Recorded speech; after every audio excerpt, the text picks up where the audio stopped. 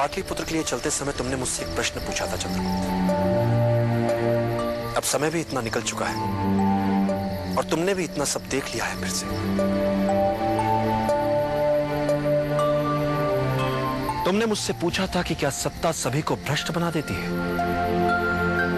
तुमने मुझसे कहा था कि मगध के सिंहासन पर बैठते ही मैं सिकंदर या अन्य राजाओं की तरह हृदयहीन तो नहीं हो जाऊँगा कहीं। तो आज मैं कह सकता हूँ चंद्रगुप्त। नियति ने तुम्हारा भविष्य अन्य राजाओं से भिन्न लिखा है।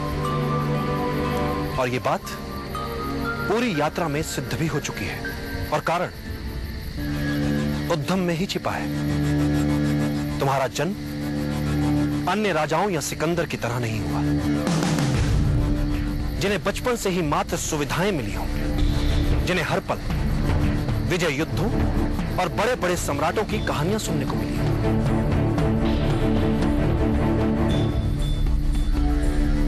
और तुम एक निर्धन परिवार में जन्मे।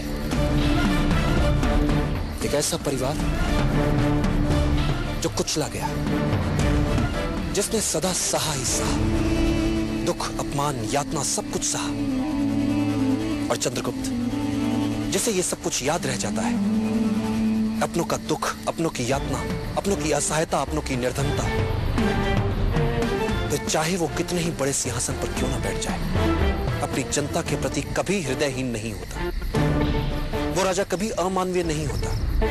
वो राजा अपनी सत्ता के मत से कभी भ्रष्ट नहीं होता। क्योंकि जिसने निर्धनता भोग ली, देख ली, वो अपनी जनता की हर विवशता को समझ लेगा। बिन बताए ही समझ लेगा वो अपनी प्रजा के दुख। इसीलिए सत्ता भी उसे भ्रष्ट नहीं बना सकती। फिर वो अपनी निजी महत्वाकांक्षाओं को पूरा करने के लिए नहीं जिएगा।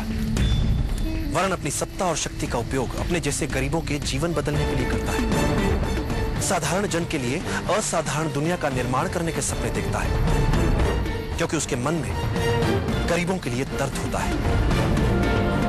फिर कोई भी शक्ति उसे भ्रष्ट कैसे बना सकती है? इसीलिए तुम अपना अंतिम पण तक दूसरों को देने के लिए सहजता से तैयार हो जाते हो।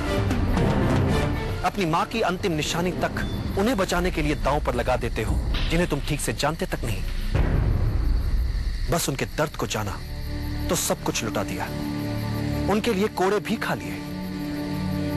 चंद्रगुप्त, तुम दूसरे राजाओं की तरह भ्रष्ट हो ही नहीं सकते।